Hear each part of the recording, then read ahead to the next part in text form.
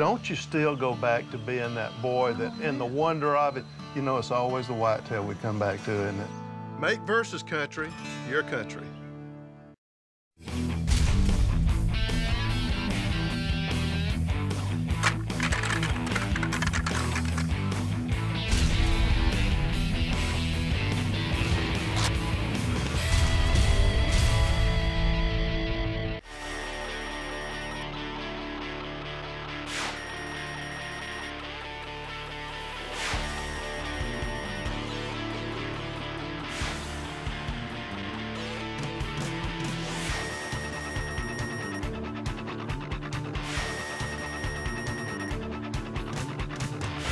Mike is hunting with Cottonwood Whitetails Outfitters in northeastern Montana, smack dab in the middle of the rut.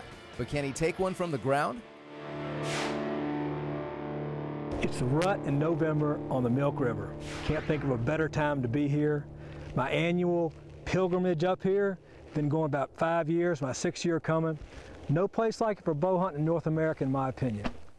When I met Elliot and Luke Stroman five or six years ago, we decided to put a couple of hunts together.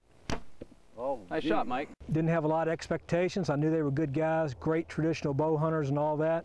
I had a lot of fun doing it. He's killed some good Pope and Young bucks up here, and, and this year we know we've been talking. He's going to be hunting up here in the rut, and we just decided, you know, he's going to hold out for a real good mature buck. Not necessarily big, but we'd like it to be big, just like anybody else, you know, but uh, definitely mature. One really great thing about Cottonwood Whitetails and the Stroman place and where we're hunting there is it's bow only all season. And that kind of makes it special because you're up close and personal hunting these deer without having any rifle pressure on the place at all at any point in the season. When I got here, I just couldn't believe. Pure whitetail gold is what I found on the Milk River. Uh, sometimes during the day we do a little nudges or whatever to sort of double your opportunities there. And when you're on your ground, you need all your help you can get. Before I could get in and get my ground blind set up, normally I'd have deer coming in, rutting by. That's the biggest one right there coming at us. I don't know, there's another big one up there. might be bigger than the dark one. Eh,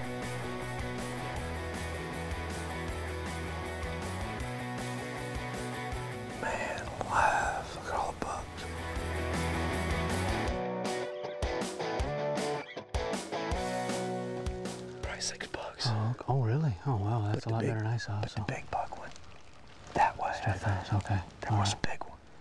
And there was another one was probably a shooter, and then about four smaller bucks. Younger This is just tore up in here. You get to see it I all the way by. Um, good thing about that is it didn't take long. No, that was great, man. I'm gonna go do another one. Okay. So you, you game? Get my stuff. A natural deadfall can be a great elevated stand, first assuming the tree's in good shape. What do you think, Mike? We break a few places. All right. Love to do it. It's also an absolute match for the surroundings and one that the deer have always been used to. But even with a natural stand, it's important to clear branches to open shooting lanes. You know, we shot some great animals, Pope and Youngs, uh, 125s, 130s. And I said, you know, this year, guys, I'm going to try to hold out for a 140. And that's not easy for me to do because when a Pope and Young comes by, usually I got an arrow flying in the air. But I wanted to kind of raise my standards a little bit. Well, we got about an hour left of shooting light. We'll go see what we can do with it. All right, And hey, hand back. You still got it. still got it. That works. Boy, it's kind of nice. I can see it from a mile away with this thing. you know. Tough bow hunting in orange. Yeah, it is. It feels awkward, doesn't it? psychological. Purely psychological. It's got to be. We think deer can see it, but they can't, you know. Yeah. What you think? Yeah. So we decided we're going to do a ground game up here, and it is tough. There is nothing like bow hunting whitetails on the ground for pure in-your-face action and all that. Magnify that when you start doing it during the rut because you've got opportunities for bucks cruising around, chasing does, maybe fighting, a lot of rut behavior going on, bucks coming by grunting.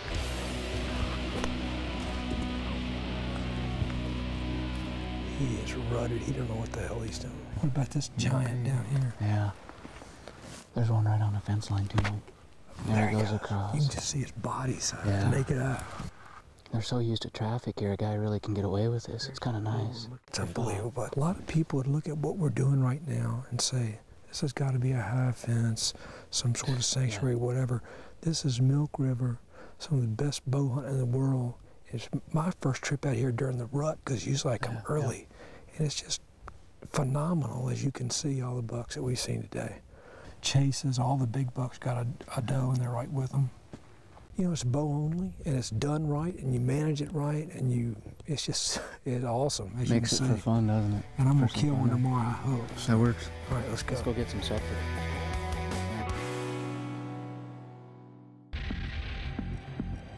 The simplest things are not always the easiest, like hunting a mature buck on the ground with a bow and arrow.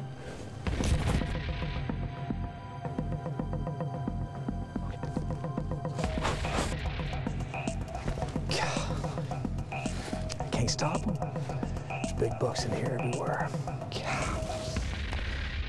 Just like the rest of this trip, I'm on the wrong side of the tree, but he was definitely the shooter, the first buck, and nothing but five hours left. Let's go get see what happens. If you spend enough time on the ground among a group of rutting whitetails, you will be able to recognize some of them on sight. This aggressive old battler, named Lop-Ear, is recognizable after one glimpse. He's an aggressive buck. He's got a broken ear, a broken brow tine on one side, and his eyes been kind of gored. And I said, man, I, I wish that deer come in. He's an old deer. He's a dominant deer. I'd love to get a shot at that deer. And I look over, and I mean, here he comes. I mean, he's got fire in his eyes. And I'm trying to draw my bow. I can't draw. And this buck comes in eight yards dead on. You can't take that shot in bow hunting. You can't do it. You got to wait till that deer is either broadside or quartering away. Finally, his doe kind of bust off a little bit. Following a doe in. Tried to stop him, you know, eh, eh, and he got out there about 37 or 38.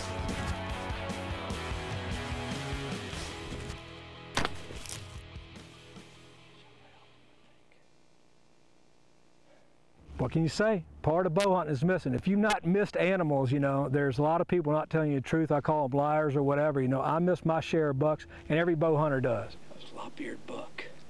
He was right in here at 10 yards, and I couldn't get drawn on him. I couldn't stop him until he was about 35. And I'm not ashamed to admit it. I could have made the shot, should have made the shot.